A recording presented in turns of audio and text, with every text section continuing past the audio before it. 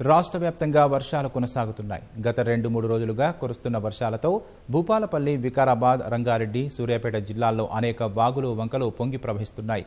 చెరువులు అలుగుపారుతున్నాయి. జోరు వర్షాలకు ప్రాజెక్టులు చెరువులు జలకళ సంతరించుకున్నాయి.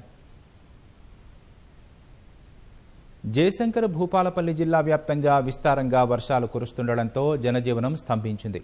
మహదేవ్పూర్ కాటారం మల్హర్ పలిమేల మహాముత్తారం మండలాల్లో కుండపోత వర్షం పడింది. రాష్ట్రంలోని అత్యధికంగా కాటారంలో నూట పదమూడు మిల్లీమీటర్లు మహదేవ్పూర్లో నూట ఒకటి పాయింట్ మూడు మిల్లీమీటర్ల వర్షపాతం నమోదైంది. మహాముత్తారం పలిమేల మండలాల్లో వాగులు వంకలు పొంగిపెర్లుతున్నాయి పలు మారుమూల గ్రామాలకు రాకపోకలు నిలిచిపోయాయి.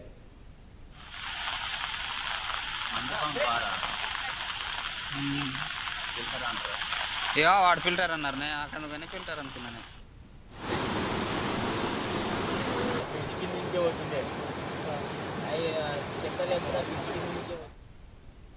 వికారాబాద్ జిల్లాలో వాగులు వంకలు పొంగి పొర్లుతున్నాయి. పెద్దేముల మండలం కందనెల్లి వాగుపై నిర్మిస్తున్న వంతెన నిర్మాణం పూర్తి కాకపోవడంతో తాత్కాలికంగా ఏర్పాటు చేసిన దారి వర్షానికి కొట్టుకుపోయింది. తాండూర్ హైదరాబాద్ మార్గంలో రాకపోకలు నిలిచిపోయాయి. తాండూరు నుంచి కొడంగల్ మీదుగా బస్సులు నడుపుతున్నారు. పరిగి వికారాబాద్ మధ్య నర్కస్ వాగు పొంగుతోంది. పరిగిలో రాత్రంతా కురిసిన భారీ వర్షానికి బీసీ కాలనీ జలమయమైంది. పొలాల్లో భారీగా వర్షం నీరు నిలవడంతో పంటలు దెబ్బతిన్నాయి.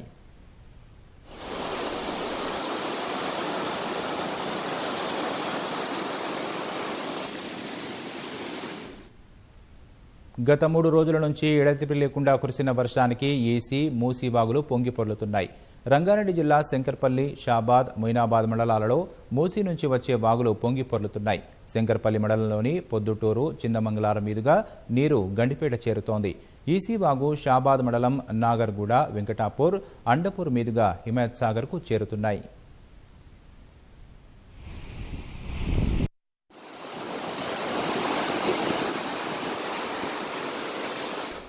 అల్పపీడన ద్రోణి వల్ల సూర్యాపేట జిల్లా వ్యాప్తంగా విస్తారంగా వర్షాలు కురుస్తున్నాయి. కోదాడ నియోజకవర్గంలోని బాగులు చెరువులు పొంగిపొర్లుతున్నాయి మునగాల మండలం జగన్నాథపురం చెరువు అలుగుపోయడంతో రేపాల జగన్నాథపురం రహదారిపై నీరు చేరి రాకపోకలకు ప్రయాణికులు ఇబ్బందులు పడుతున్నారు.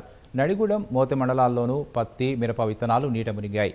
మునగాల కోదాడ అనంతగిరి చిలుకూరు మండలాల్లోనూ రైతులు వరనాట్లు పోస్తున్నారు.